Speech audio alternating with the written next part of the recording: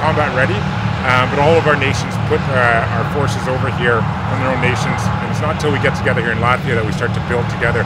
So today's really the culmination of three or four months of us bringing all the 10 nations together, learning how to work together uh, as a common cohesive battle group. We, we do it on night, at night. But when you're not having uh, breakfast, lunch, and supper, what, Yes. what, where are you? Where are you in there? Yes.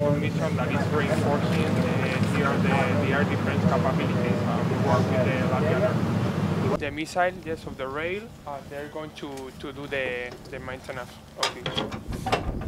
No, close.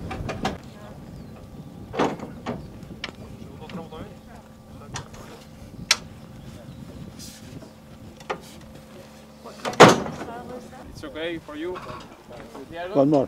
Van a sacar, van a Si lo hacen más, otra, ¿no? si lo hacen otra vez estaría bien. Eh, José, sacadlo.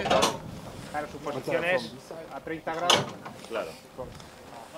y ya pues listo.